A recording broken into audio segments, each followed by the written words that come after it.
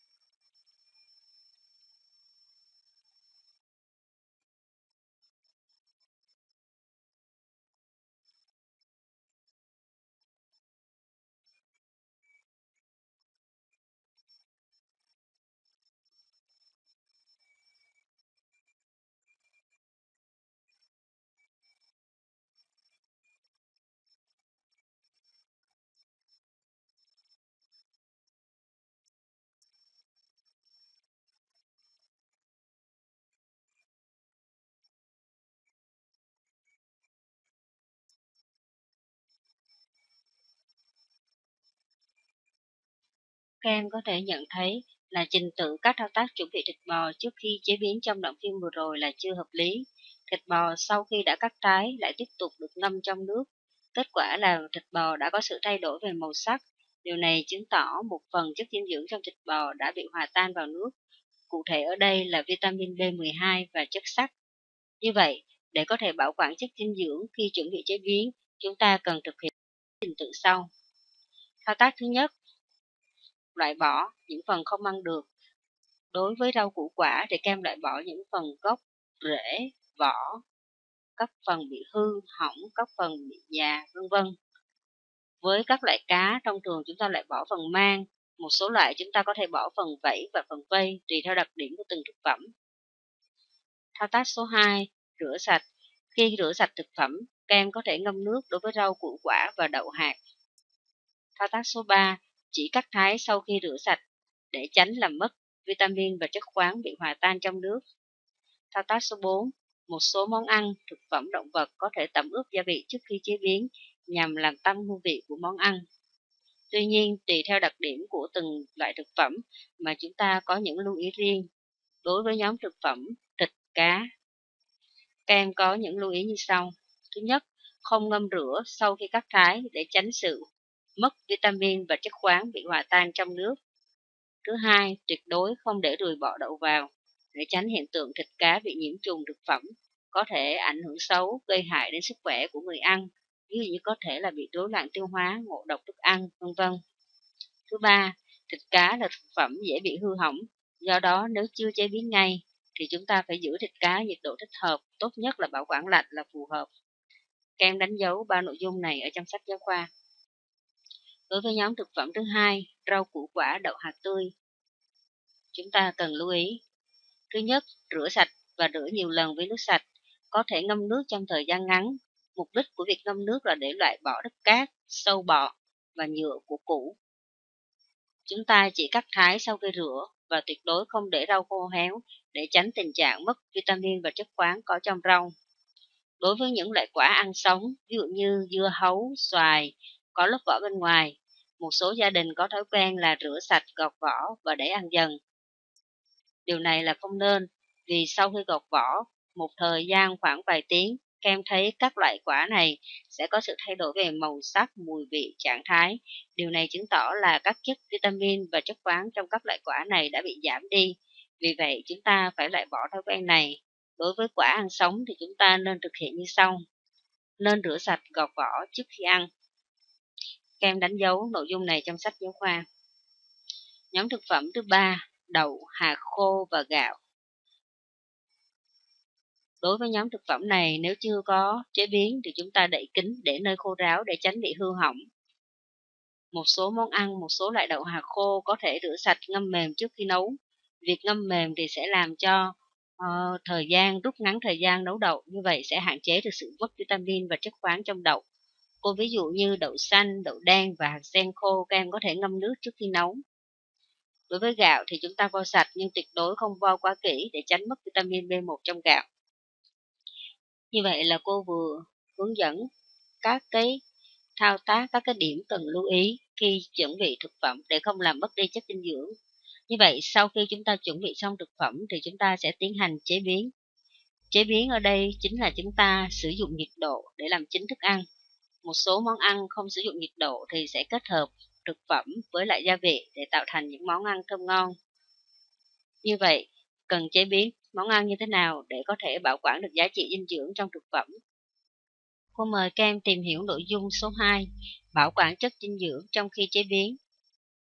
Theo các em, tại sao phải quan tâm đến việc bảo quản chất dinh dưỡng trong khi chế biến món ăn? Thực tế cho thấy trong quá trình chế biến món ăn, nếu như chúng ta thực hiện các thao tác sai kỹ thuật, không đúng quy trình thì có thể làm mất đi giá trị dinh dưỡng của thực phẩm. Vì vậy, chúng ta phải quan tâm đến việc bảo quản chất dinh dưỡng trong chế biến món ăn. Một số thao tác có thể làm ảnh hưởng đến chất dinh dưỡng của thực phẩm như sau. Ví dụ như khi chúng ta đun nấu lâu, sẽ làm mất nhiều sinh tố tan trong nước, sinh tố C, B và PP. Khi rán lâu sẽ làm mất nhiều sinh tố tan trong chất béo như A, D, E, K. Các em đánh dấu những nội dung này vào trong sách giáo khoa. Ngoài ra còn có các thao tác khác như một số thực phẩm như rau củ quả thì chúng ta khi luộc hay nấu nên cho vào lúc nước sôi để giảm bớt sự mất vitamin và chất khoáng trong rau củ quả. Khi nấu, tránh quấy nhiều để cho thực phẩm không bị vỡ nát, tránh được sự mất chất dinh dưỡng. Không nên hâm lại thức ăn nhiều lần.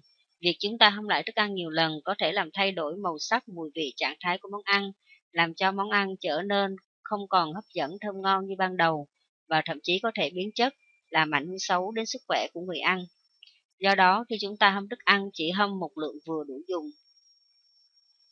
Khi nấu cơm, chúng ta tránh, tránh tình trạng dùng gạo sát quá trắng hoặc vo quá kỹ gạo khi nấu cơm và không nên chắc bỏ nước cơm vì sẽ mất sinh tố B1.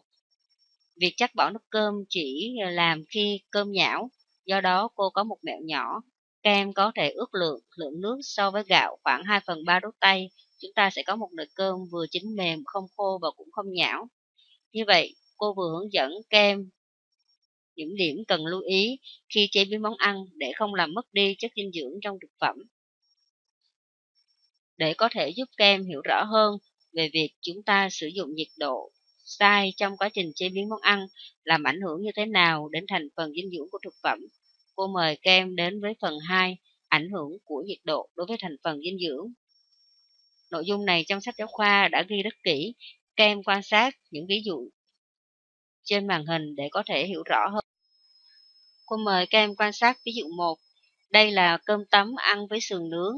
Chắc chắn là món sườn nướng ở hình số 2 sẽ là sự lựa chọn của nhiều bạn. Tuy nhiên, cô có lời khuyên là chúng ta không nên ăn sườn nướng ở hình thứ hai, vì em thấy bên cạnh cái màu sắc hấp dẫn thì món sườn nướng của chúng ta có những chỗ bị đen. Đây là biểu hiện thực phẩm bị cháy khét. Như vậy, khi chúng ta nướng thực phẩm bị khét, tức là chúng ta đã sử dụng nhiệt độ cao, vượt quá nhiệt độ làm chín 100 đến 115 độ C, thì giá trị dinh dưỡng của miếng sườn nướng, tức là chất đạm sẽ bị giảm đi. Và khi nói tới món nướng thì cô có một vài lưu ý đối với các bạn. Lưu ý thứ nhất là để cho các món nướng có thể chín mà không bị cháy khét bên ngoài thì chúng ta có một vài mẹo nhỏ như sau. Thứ nhất, chúng ta dùng các nguyên liệu bao bọc bên ngoài thực phẩm trước khi nướng, ví dụ như giấy bạc hoặc một số nguyên liệu quen thuộc như đất sét, rơm, rạ, lá chuối rồi sau đó chúng ta đặt thực phẩm lên nướng thì sẽ hạn chế được sự cháy khét mà thực phẩm vẫn có thể chín đều. Mẹo thứ hai, chúng ta có thể làm chín thực phẩm bằng lò vi ba, sau đó chúng ta đem ra nướng. Và nếu trường hợp các em nướng bằng than thì các em nhớ là chúng ta tránh để mỡ trong thực phẩm rớt xuống than sẽ tạo thành khói độc bám vào thực phẩm, gây hại cho người ăn có thể là bị ờ, các bệnh về đường hô hấp. Ví dụ số 2 là các món chiên. các em quan sát hình số 1. Dầu để sử dụng trong món chiên này có màu vàng nâu. Điều này chứng tỏ là dầu này đã được tái sử dụng nhiều lần, hay còn gọi là do đun nóng quá nhiều, dẫn tới sinh tố A trong chất béo bị phân hủy và chất béo bị biến chất. Do đó khi ăn những món chiên thì chúng ta không nên ăn những món được chiên trong những cái dầu màu vàng nâu như thế này. Rất có hại cho sức khỏe, có thể bị rối loạn tiêu hóa, ngộ độc thức ăn, thậm chí là có thể tử vong nếu như cái lượng dầu này tái sử dụng quá nhiều lần. Cô mời các em quan sát ví dụ số 3. Một món tráng miệng rất quen thuộc, bánh lăng hay còn gọi là kem lăng. Chắc chắn là dĩa bánh lăng ở hình số 2 sẽ là lựa chọn của các em. Vì màu vàng rất đẹp và bánh chín mịn. Cô muốn các em quan sát thật kỹ lớp caramel ở trên bánh. Lớp caramel này là đường. Và các em thấy là ở hình số 1, lớp caramel này có màu vàng nâu rất là đậm. Đây là do chúng ta sử dụng đường và chúng ta sử dụng nhiệt độ quá cao, có thể lên đến 180 độ C, dẫn đến là đường chất đường của chúng ta bị biến mất, chuyển sang màu vàng nâu đậm giống như hình số 1 và khi kem ăn thì kem sẽ thấy có vị đắng. Tiếp theo là ví dụ số 4. Món bánh mì sandwich. Chắc chắn là ba lát bánh mì sandwich ở dưới không phải là lựa chọn của các em vì đã bị cháy khét Thế thì khi những cái lát bánh mì sandwich mà bị cháy khét như thế này, tức là do chúng ta nướng ở nhiệt độ quá cao, thì tinh bột trong bánh mì sandwich sẽ bị tiêu hủy hoàn toàn. Cô mời các em quan sát ví dụ số 5, món rau muống luộc. Các em nhìn ở hình số 2, món rau muống luộc có màu xanh đậm và cọng rau chín nhừ. Do đó chắc chắn chúng ta không nên lựa chọn món rau ở hình số 2 vì đây chính là biểu hiện của việc rau muống đã bị mất vitamin E, C và chất sắt trong rau muống do trong quá trình chế biến chúng ta đun nấu quá lâu dẫn đến chất khoáng và vitamin bị hòa tan trong nước. Như vậy qua các ví dụ của cô thì các em thấy là việc chúng ta sử dụng nhiệt độ không đúng dẫn tới các thành phần dinh dưỡng trong thực phẩm có thể bị giảm, mất đi, tiêu hủy hoàn toàn, thậm chí là có thể biến chất. Do đó chúng ta cần phải lưu ý bảo quản chất dinh dưỡng trong thực phẩm để không gây hại cho người sử dụng. Và cô cũng lưu ý thêm là đối với những thức ăn mà đã bị cháy khét thì chúng ta không nên ăn vì có thể có nguy cơ bị ung thư. Điều này đã được các nhà khoa học nghiên cứu và được Tổ chức Y tế Thế giới công nhận ở năm 2017. Cái thứ hai là chúng ta tuyệt đối không ăn thức ăn bị biến chất vì có thể cơ thể chúng ta sẽ bị rối loạn tiêu hóa, ngộ độc thức ăn, thậm chí là có thể tử vong. Và để có thể bảo quản được chất dinh dưỡng trong quá trình chế biến món ăn thì chúng ta cần phải thực hiện các thao tác theo đúng trình tự và đúng kỹ thuật. Nội dung bài 17 kết thúc ở đây. Để có thể ghi nhớ bài tốt, cô đề nghị các em chúng ta thực hiện những công việc như sau. Thứ nhất, các em xem kỹ nội dung bài và tự ghi vào vở nếu có thể đọc những mục ghi nhớ và có thể em chưa biết trong sách giáo khoa, tự trả lời các câu hỏi, đánh dấu lại những cái câu hỏi kiến thức mà các em chưa hiểu rõ, để khi các em gặp thầy cô trực tiếp giảng dạy các em có thể hỏi thêm.